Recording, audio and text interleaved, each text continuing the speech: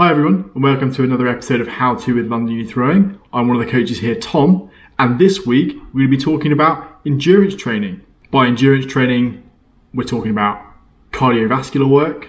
This sort of training applies to rowing and running and all of your endurance sports basically. And we're only going to be talking about the cardio element to endurance sports, no strength training conversations today. So far, we've broken our program down into its microcycles.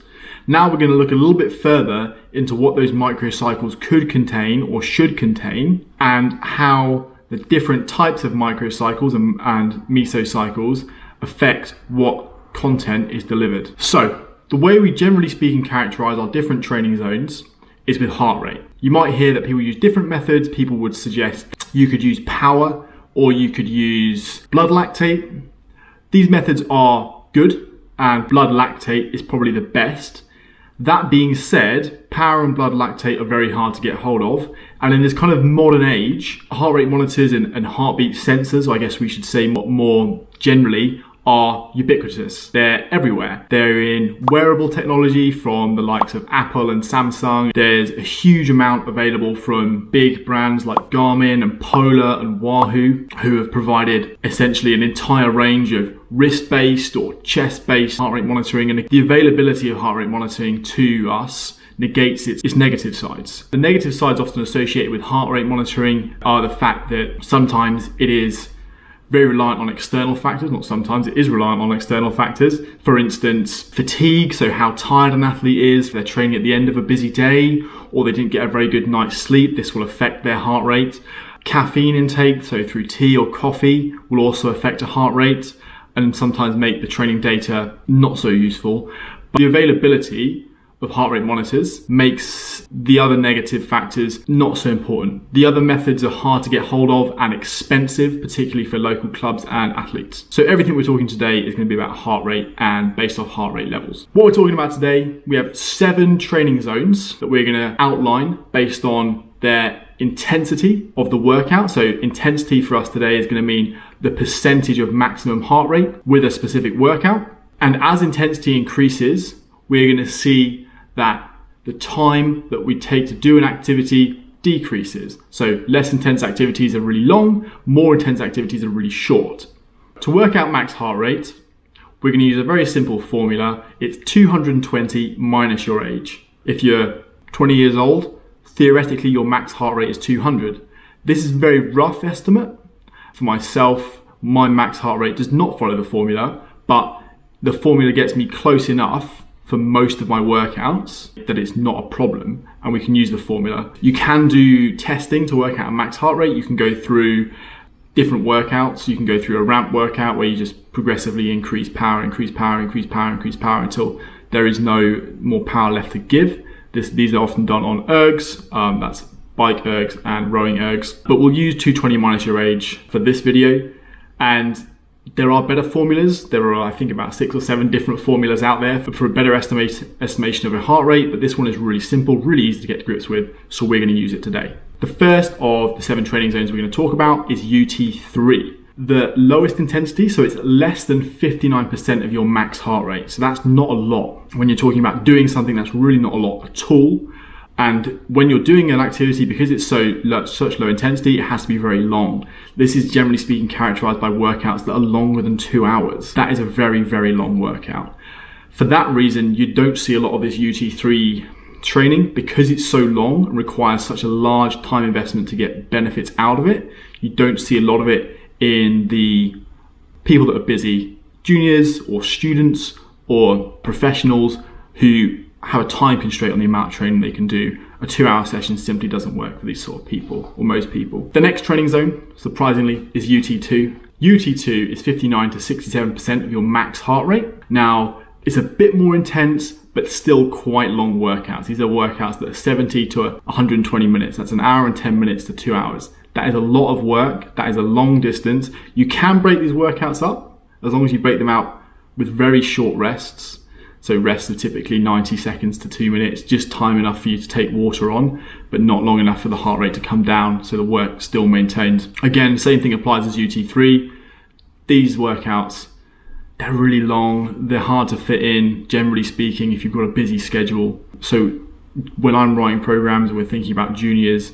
Generally speaking, we're going to ignore UT3 and UT2 when bringing in their programming. If we do any UT2 work, it will be in the base. It will form a core part of their base programming. So we talked about the mesocycles in the previous video about programming. This would fall into the base. After UT2 comes UT1, surprise, and UT1 is characterized by 67 to 75% of max heart rate. Now, that's pretty good. That's pretty intense.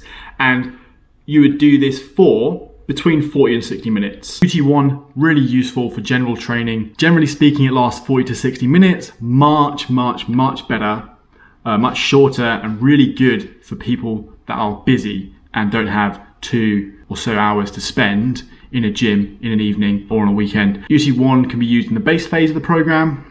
Really great, really useful there. Now we're at UT1, you can do a lot more interval work at UT1. So it lasts 40 to 60 minutes, but you could do two 30 minutes or three 20 minutes, and that would be classed as UT1. After UT1 comes AT. So AT stands for anaerobic threshold. Anaerobic threshold training is characterized by 75 to 85% of max heart rate. So we're getting into some quite hard work here. Training time is obviously decreasing, so we're in a 20 to 40 minute window now. We can use, like we were doing with UT1, intervals to create this training environment. Great example that I'm sure most people will know, 30 minute test. I should also mention at this point in time, as we step through these different levels of difficulty, the rate, uh, so the rate if you're in rowing is increasing. Um, for most sports, you have gears or you have the ability to, other ability of changing it, such as cadence. Uh, in rowing, it's, it's rate is what we, we vary. AT is really good, so you could use AT every now and then in the base section of the program, particularly in base two, as a harder session, but it's going to feature a little bit more and more predominantly in the speed part of the program. After AT comes TR, which stands for transport or oxygen transport.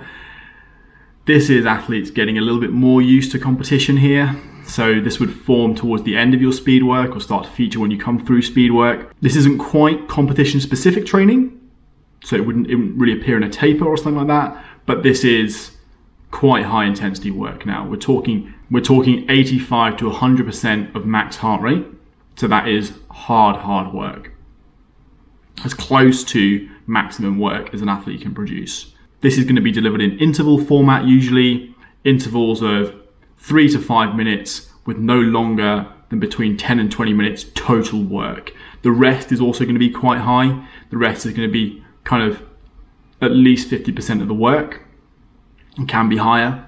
So for a five minute interval, two and a half minutes rest, it can be more like 75 or 100% of rest of, of work. Again, like I wanted, like I said earlier, this is really useful in the speed micro. Penultimate one here, we've got AC, which is anaerobic capacity training. This is short, sharp efforts and not characterized by heart rate, but characterized through power. And you could use perceived power, which is just the athlete's perception about how hard they're working. This is 90 to 100% of power. Great in the speed cycle. Can also be featured in the taper. Very competition specific at this point in time. We're doing no more than 10 minutes of work really. It's race simulation sort of stuff. Simulating the race, the rates you'd be at during a race. Final phase, AP or anaerobic power. This is again, same as AC, max power work. Very short, race-like situations, featured in the taper, you're looking at either pieces that simulate race pace, race pieces, so very short, broken up into one to four minute chunks usually, um, and yeah, very close to race situations. There you go. Those are the different areas and the different types of training you can do. I recommend experimenting with the different types and seeing what works for your athletes or what works for you. Definitely get used to training with heart rate. It can be really, really useful. But again, that's all we've got time for today. Thank you very much for joining us. If you like the video, drop a like and you can subscribe below or you can view one of the other videos from the series over here. And thank you very much and look forward to see you again next week guys.